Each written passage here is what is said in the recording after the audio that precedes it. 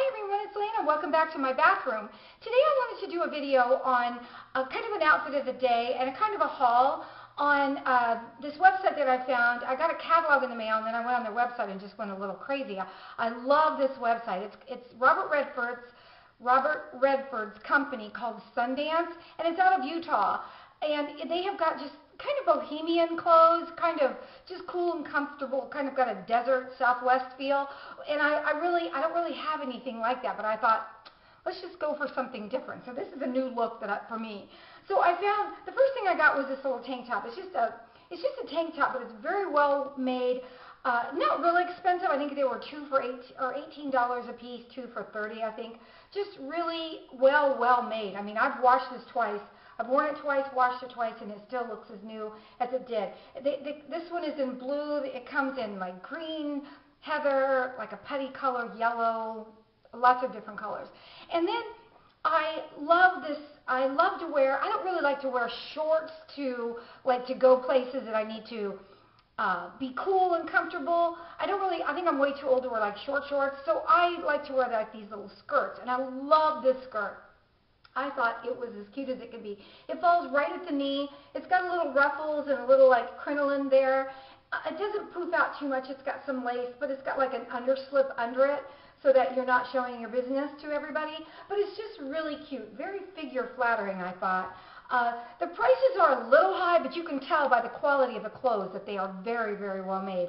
And to go with that, I got this little, sometimes in the evening here in Indiana, it's kind of chilly, so I got this little sweater to go with it, and it's got all kinds of beads and anything sparkly, uh, beads or a bow. I love it. I've worn this, and it's so cute. Very, very well made. It's got the same color of the little, uh, to go with the orange skirt. I actually put the blue tank under it, this sweater and that skirt and just thought it was as cute as could be.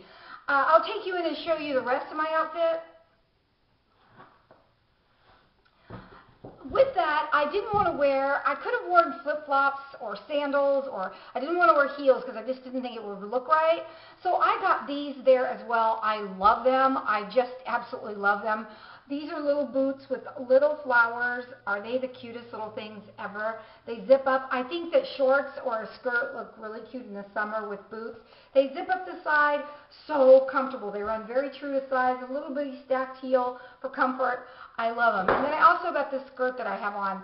Um, I'm not, I, everybody always asks me about my lipstick. I'm just wearing, um, this is uh, Revlon's in cotton candy, these lip butters they there it's just a basic I've kind of gone back to basics. I today I don't have any foundation on whatsoever. I put on uh, my Jergens natural glow let it about three hours ago let it sit in put some blush on a little bit of eyeshadow not too much.